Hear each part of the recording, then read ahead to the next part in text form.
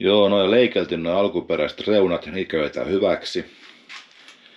Ihan tämmöiseksi ne ei jää, näihin tulee aukkoja ja luukkuja vielä ja tota, tuon näköiset tältä puolelta ja on ihan kivan, on kevyet.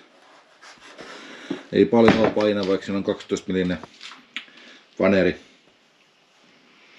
Ja tota, ei se ulkonäkökä tämmöiseksi jää, että tietysti näitä vielä muokataan paljon. No nyt on kuvaajaystävällisempi lamppu käytössä. Hyvin sopii paikalleen. Sujahtaa sinne ihan kevyesti. Sitten akkupuolikin on jo tuossa vaiheessa. Ja tähän on tullut vähän muutoksia vielä. Meillä on tässä nyt vähän pientä mietiskelyä, että mihin ne sulakkeet tulee sillä, että ne on sääntöjen mukaan helposti vaihdettavissa. Että, ja saisi olla kyllä vähän näyttävän näköinenkin, että siinä on niin se pieni dilemma tällä hetkellä.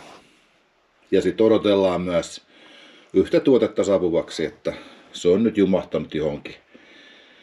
Ei ole, ei ole näkynyt vielä, että saisi tulla kyllä mielellään aika pian, että pääsisi eteenpäin tässä hommassa. Vähän muotoa tähän piparikkotaluun.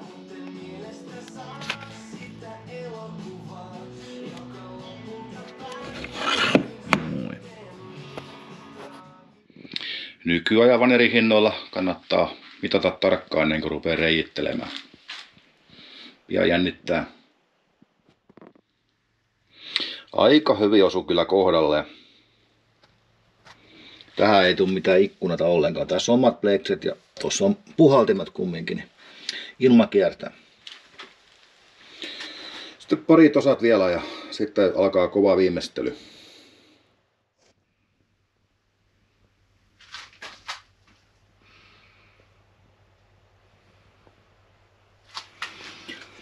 Tuohon täytyy saada jotain tuohon keskelle.